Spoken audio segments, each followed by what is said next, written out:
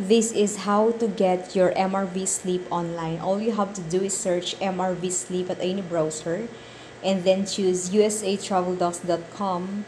Just scroll down until you see the deposit slip of $265 MRV fee. So once you found that $265 MRV fee, just click and then it will lead you to the deposit slip that contains a unique receipt number.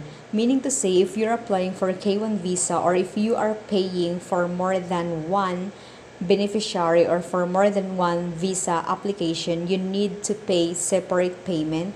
Then just bring the printed copy at any RCBC branch together with your passport, valid ID, and of course the visa fee payment. And then you have to remember that visa fees are non-refundable and must be paid in local currency.